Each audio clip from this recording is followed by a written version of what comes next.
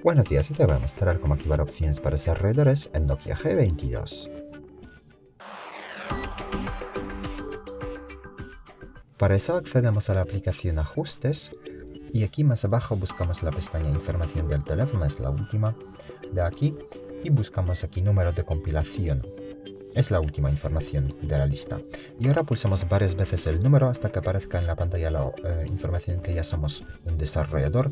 Nosotros ya tenemos las opciones eh, para desarrolladores activadas. Entonces después de activarlas, para verlas, salimos de aquí, volvemos a ajustes y abrimos la penúltima pestaña Sistema. Y las opciones para desarrolladores se encuentran aquí es la penúltima opción. Ah, y bueno, aquí puedes verlas todas, son muchas. Desde aquí también puedes desactivarlas.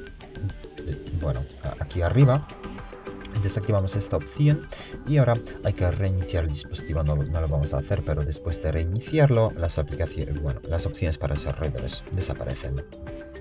Muchas gracias por ver el vídeo, te invito comentario abajo y suscribirte al canal. Hasta luego.